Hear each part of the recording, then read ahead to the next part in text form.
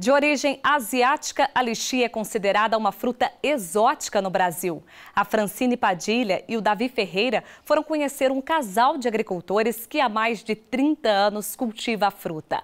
A plantação tem 40 pés e abastece as feiras e a cidade. Ela tem formato de morango e uma casca grossa que protege a polpa delicada. Considerada uma fruta exótica no Brasil, a lixia tem sido cada vez mais procurada, principalmente pelo valor nutricional. Ela é uma fruta gostosa, né? suculenta, tem vitamina B, C e ajuda a combater a gordurinha, né? Então favorece muito. e é bom para a pele também, apesar dela ter casca asquerosa, assim, mas a, a fruta em si, a, a proteína dela ajuda também na pele. Seu Pedro, que há 12 anos se dedica à produção de frutas como jabuticaba e caqui, plantou as primeiras mudas de lixia por apreciar o sabor e logo percebeu o potencial para comercialização. Não trabalhoso, não muito gasto, eu acho que é uma fruta que tem um valor bom, entendeu?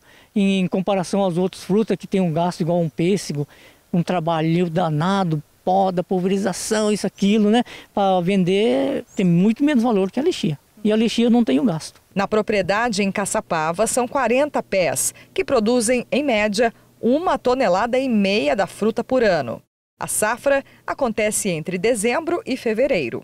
A quantidade de frutos por cacho varia bastante, de 15 até 50 lixias. E por conta dessa quantidade, o tempo de maturação também é bastante diferente. Esse cacho, por exemplo, olha, tem frutos mais maduros e alguns mais verdolengos. Por isso, é preciso esperar um tempo, a hora certa, para fazer essa colheita. O ideal, olha, é um cacho como aquele ali, que o seu Pedro, inclusive, já está de olho, porque ele está praticamente com todos os frutos maduros, prontos aí para consumo e comercialização, né, seu Pedro? Certo. Uhum. Tá. Agora, o legal é que a colheita, a gente não pode tirar um a um. Não, o ideal da colheita da lexia é quebrar o galho, uhum. o cacho inteiro, assim? Vamos ver como é que o senhor faz. Corta mesmo o galho, né? Isso não prejudica a árvore. Isso não, isso ajuda a produção no próximo ano, porque aí ela vai sair vários galhos daqui e a produção, a tendência de aumentar a produção.